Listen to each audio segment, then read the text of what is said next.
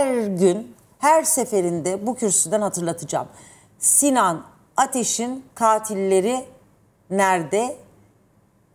Niye yakalanmıyor gerçek suçlular? Bunu soracağım dedi. Önce o sesi bir dinleyelim. Barış'ın bu konuda elinde bazı gelişmeler var.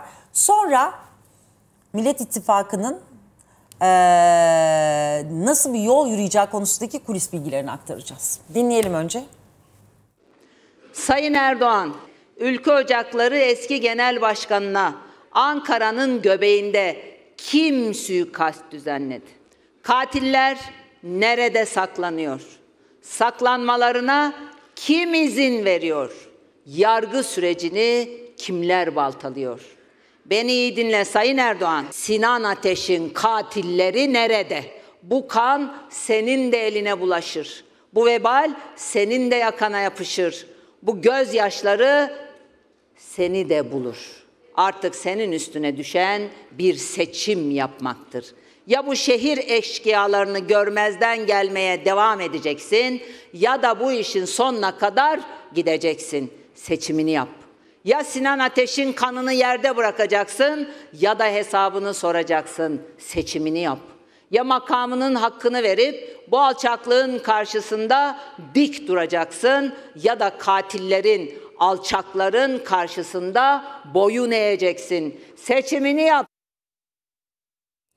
Evet Mer- Meral Akşener'in sorduğu soruların bazılarının cevabı Barış Terkoğlu'nda yarın Cumhuriyet Gazetesi'ne yayınlanacak e, köşe yazısında da bunları anlattı. Şimdi burada da anlatsın. Şimdi söylediğin gibi yarın Cumhuriyet Gazetesi'nde detaylarıyla bu olayı anlatıyorum. Onun için burada daha özetini Daha özetini istersen. vereceğim. Ki diğer konulara da Yani merak zamanımız eden kalsın. diğer konulara da. Ama bu bizim Ya en vurucu yerlerine, en bizim noktalarına. ülkemize borcumuz Ankara'nın ortasında kim olursa olsun, hangi siyasi partiden olursa olsun işlenmiş bir siyasi cinayet aydınlatmak için hepimizin el biriyle bu ülkenin daha ferah bir ülke olması için bu ülkeye borcumuz var. Mesela bir şahıs meselesi değil. Şimdi burada önce bugün olan e, yayınlanmış Fevzi Çakır Habertürk'ten gazeteci arkadaşımızın yayınladığı bir haber var. Fevzi Çakır'ın haberi diyor ki özetle Ankara Cumhuriyet Başsavcılığı bu cinayet sürecinde şunu görmüş. Eylemciler ellerine belirli konumlarla yani hem Sinan Ateş'i takip ettikleri konumlarla hem de kaçış güzergahlarıyla, kaçış konumlarıyla ellerine böyle bilgilerle gelmişlerle gitmişler. Ve şöyle bitiyor. Haklarını yakalamak, bu insanları yakalama kararları var. Yakalama kararı bulunan ve her yerde aranan şüphelilerin saldırı öncesi başkentin en kritik bölgelerinden biri olan Çukurambar'da keşif yaptıkları, saldırı sonrası da yakalanmadan kaçtıkları görüldü. Bu durum bir güvenlik zafiyeti olup olmadığı sorusunu gündemde tutarken şüphelilerin merhum Sinan Ateş'in adres bilgilerine nasıl ulaştığı da savcılık tarafından inceleniyor diyor. Fevzi Çakır'ın haberi. Ben şimdi size bu sorunun yanıtını vereceğim. Bu sorunun yanıtını verirken de Sinan Ateş cinayetinin bir siyasi cinayet olduğunu ve bağlantılarının nereye doğru gitmeye başladığını kanıtlayacağım delil olarak. Şimdi bakın. Hatırlıyor musunuz? Tolgahan Demirbaş. Bu ismi çok konuştuk. Neden çok konuştuk? Şu nedenle çok konuştuk. Sinan Ateş cinayetinden sonra katil tetikçi yani Eray Özyağcı hala yok ortalıkta. Bu Eray Özyağcı'yı Tolgahan Demirbaş'ın olay yerinden uzaklaştırdığı iddiası suçlaması vardı. Hatta hatırlarsınız gazeteci Tolga Şardan arkadaşımız bu haberi yapmıştı. Tolgahan Demirbaş polis tarafından bir evden alınmaya gidiliyor. Evde MHP milletvekili olacak kılavuzun bulunduğu bir ev. O vermemeye çalışıyor, almaya çalışılıyor derken daha sonra birinci aşamada Tolgahan Demirbaş bırakıldı. İkinci, sonra Ankara Cumhuriyet Başsavcılığı'nda yine bir takım gelişmeler yaşandı. Hatırlayın savcı değişiklikleri. Tekrar ifadeye çağrıldı, tekrar bırakıldı. Üçüncü aşamada Tolgahan Demirbaş geçen hafta tutuklandı. Hatta burada konuştuk hatırlarsın.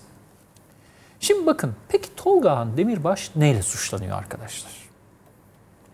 Şimdi hikayeyi dinlemeye hazır mısınız? Ben sizi önce Ankara'da bir kafeye götüreceğim. Ama çay içmeye değil.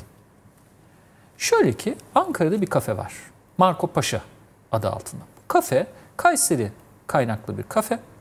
İlk şubeleri Kayseri'de açılmış. Kayseri'den sonra Ankara'ya doğru taşınmış. Ve bunun bir sahibi var. Aytaç Ataç.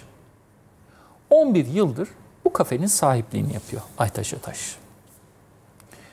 Mesela ben bu böyle şeyleri hani yazarken insan ister istemez merak ediyor. Sosyal medyada dolaştığınızda bu kafenin müşterileri ya bu kafede biraz mafyatik işler oluyor falan diye şikayetçi olduğu bir yer. Gerçekten kim giriyor kim çıkıyor tuhaf insanlar görmüşler. Ama bu Aytaç Ataç neden bu Aytaç Ataç'ı anlatıyorsun derseniz size başından yanıtlayayım. Aytaç Ataç da bu davada tutuklandı. Soruşturmada. Kimse konuşmuyor ya bu kafenin bir kafenin sahibi neden Sinan Ateş cinayetine tutuklandı acaba sorusunu sormadı. Ben şimdi merak edip peşine düştüğüm için anlatıyorum.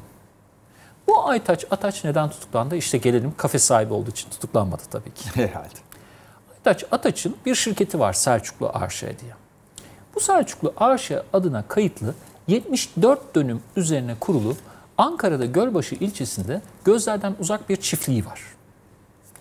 Bu çiftlik kimi zaman arkadaşlarıyla, kimi zaman dostlarıyla, kimi zaman yakınlarıyla gidip bir takım partiler, mangal partileri, şu partileri, bu partileri verdiği, tabiri caizse kimsenin de e, incin top oynayan, kimsenin kimseyi duymadığı bir yerde bir çiftlik. Şimdi gelelim meseleye. Aytaç Ataç aynı zamanda Tolgahan Demirbaş'ın arkadaşı. Ne kadardır arkadaşı derseniz kendi ifadesine göre 8 yıldır arkadaşı. Diyor ki Tolgahan Demirbaş benim kafeme gidip geliyordu arkadaş olduk diyor. Kendisini diyor aynen kendi ifadesini söyleyeyim. Tolgahan Demirbaş'ı eski ülke ocakları başkan yardımcısı olarak bilirim diyor. Öyle tanıyorum diyor. Benim kafeme gelirdi. Bu arada sağlığa zararlıdır onu da söyleyelim. Nargile içerdi sık sık diyor. Oradan tanıştık diyor. Sonra diyor arkadaşlarımız öyle ilerledi ki ben bu çiftliği anahtarını Tolgahan Demirbaş'a veriyordum. Ben olmadan zaten girip çıkıyordu çiftliği kullanıyordu diyor. Kendi ifadesi. Cinayetten iki buçuk saat önce yani 30 Aralık 2022 günü Sinan Ateş saat 13 sularında biliyorsunuz katledildi. Cinayetten 13.30 sularında katledildi.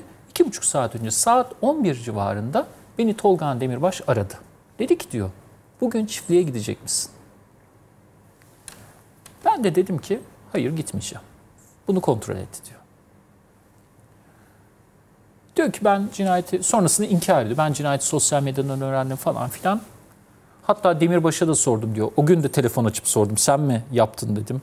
Sonra 2-3 e, üç gün sonra kafeye tekrar geldi. Sen mi yaptın dedim. Hayır alakam yok dedi diyor. Peki bu kadar mı diyeceksiniz? Değil. Sizi başka bir isme götüreceğim. Bir, bir şey sorabilir miyim? Sen mi yaptın diye Yani soruyor. senin bir alakan var mı dedi diyor. Şimdi neden bu soruyu sorduğunu şimdi anlatacağım. Hani neden bir insan hani ben Emin'e sormam. Emin sen mi yaptın? yaptım bu cinayeti diye ben de Barış'a Şirin'e Neden sormam. sormam? Neden sorduğunu anlatayım. Size üçüncü bir isim anlatacağım. Ne dedik? Tolga Demirbaş, Aytaç Ataç. Üçüncü isim Çağlar Zorlu. Çağlar Zorlu da o kafenin müdavimlerinden. Hatta o kafede diyor ki Aytaç Ataç, Tolgahan Demirbaş benim arkadaşım geliyor kafe. Çağlar Zorlu da geliyor. O kafede benimle aynı masada ben onları tanıştırdım diyor. Yani üçü tabir caizse arkadaş oluyorlar Çağlar Zorlu'yla. Polis sormuş mu sormamış mı bilmiyoruz ama Çağlar Zorlu'yu nasıl tanıdığını Aytaç Ataç, hani Tolga Demirbaş'ı biliyoruz. Aytaç Ataç'ı da artık ben size anlattım. Çağlar Zorlu'ya gelelim. Nereden, nasıl tanıyorsun diyor. Kendi ifadesini okuyorum. Mahkeme tutanaklarında da geçmiş bir şey bu artık dosyaya girmiş bir şey. Çağlar Zorlu'yu 2-3 yıl kadar önce Kayseri'den bir arkadaşım vasıtasıyla tanıdım. Çağlar'ı bana tanıştıran arkadaşım MİT'te memur olarak görev yaptığını söylemişti. Ancak ben daha sonra Çağlar'ın kömür işletmelerinde çalıştığını öğrendim. Hatırladığım kadarıyla 2022 yılın Ocak veya Şubat ayında Marco Paşa isimli kafeme müşteri olarak geldiklerinde aynı masada oturduğumuz için Tolga Han Demirbaş'la tanıştırdım diyor. Eskiden eski, MİT mensubu olarak tanıtıyormuş kendisini bu Çağlar Zorlu. Ancak baktım ki MİT mensubu değil. Kayseri'de ne de çalışıyormuş? Kömür işletmelerinde çalışıyormuş. Diyeceksiniz ki peki üçü tanıştı. Peki cinayetle ne ilgisi var? Okuyorum ifadesinden. Kendi anlattığını. 2022 yılının Mart ayında Tolgahan ve Çağlar yanımda oturduklarında Tolgahan Çağlar'a bir adres bulmamız lazım. Yardımcı olabilir misin dedi. Çağlar da yardımcı olabilirim dedi. Sizce kimin adresini istemiş olabilir? Çiftlik. Hayır Sinan Ateş'in. Sinan Ateş. Bize Sinan Ateş'in adresi, konum bilgileri lazım. Dur şimdi sadeleştir. Sen köşe yazarı köşe yazısı gibi koyuyorsun. İnsanların kafası karıştı. Ben bile koptum. Bu kadar detaya girerek gitmeyelim. Yani sadeleştir. her şeyi basın- Sonuçta e, Milli İstihbarat Teşkilatı mı diyeceğiz? Şimdi- İstihbarattan Şimdi şimdi e, ona da ona da geleceğim. Kendisini MİT mensubu olarak tanıtan. tanışan birisinden Ancak Sinan Ateş'in madem- adresini istiyor Tolga Han Demir. e, Tolgahan Demirbaş her şeyi özetleyeyim. Aytaç Ateş diye birinin kafesi var. Bu kafenin müdavimleri var. Birisi çok müdavim vardı. Bu konumuz sadece o ikisi. Tolgahan Demirbaş MHP'de olduğu bilinen Ülke Ocakları yöneticisi. Öbürü de Çağlar Zorlu. Çağlar Zorlu kendisini MİT mensubu olarak tanıtan bir şahıs. Tolgahan Demirbaş da Ülke Ocakları burada tanıştıklarında kafede diyor ki bize Sinan Ateş'in adresi lazım. Şimdi olaylar derinleşince bakın Aytaç Ataç diyor ki açıklama yapıyor. Nerede? 23 Ocak'ta savcılıkta yapıyor. Diyor ki Çağlar bana dedi ki diyor. Abi bunlar benden konum istiyorlar. Konum istiyorlar. Bir arkadaşın Sinan Ateş'in kulağını çekeceklermiş. Bu konuda benden yardım istiyorlar diyor. Ve bakın yarın ayrıntılarını anlatacağım. Doğrudan doğruya Sinan Ateş'i teknik takip yapabilmek için yardım istiyorlar. Yani telefon sinyallerini sizin şu anda bu stüdyonun olduğu ilçeden konum veriyor. Tolgan Demirbaş Çağlar'a demiş ki bize Sinan Ateş'in telefonlarından dakika dakika nerede olduğunu verebilir misin demiş. Şimdi telefon kayıtlarına bakıyorsunuz polisin ulaştığı. Gerçekten de konum bilgileri gönderilmiş arkadaşlar. Bunu soruyorlar tabii ki Çağlar'a. Çağlar diyor ki ben diyor bir, önce avukatının söylediğini söyleyeyim. Bu da tutanaklarda var. Avukatı diyor ki benim e, müvekkilim eski bir MİT mensubudur. Eski bir MİT mensubudur. Bu nedenden dolayı ondan istemişler diyor. Çağlar da diyor ki ben evet konum bilgileri gönderdim ama uydurup gönderdim. Gerçek konum bilgileri göndermedim diyor. Ve bu konum bilgileri anlaşılıyor ki aslında Sinan Ateş'i öldürenlerle paylaşılmış. Zaten bu yüzden tutuklanmışlar hep birlikte. Ve en nihayetinde şu sonuca varıyoruz. Çiftlik nerede? Çiftlik ne oldu diyeceksiniz. Saat 11'de aradı çiftlik. Boş mu diye sordu ya. Cinayetten sonra Tolga Demirbaş o çiftliğe gitmiş. Yanında acaba tetikçi var mıymış?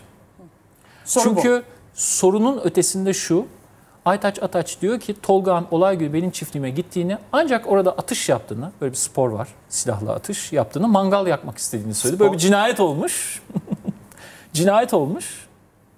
Cinayeti önce sormuş, sonrasında da çiftliğe gidip silahla ateş ettiğini söylüyor. Şimdi bakın, hatırlıyor musunuz? Bu hadiseden önce Mersin'de saldırı olduğunda da aynı soruyu sormuştuk.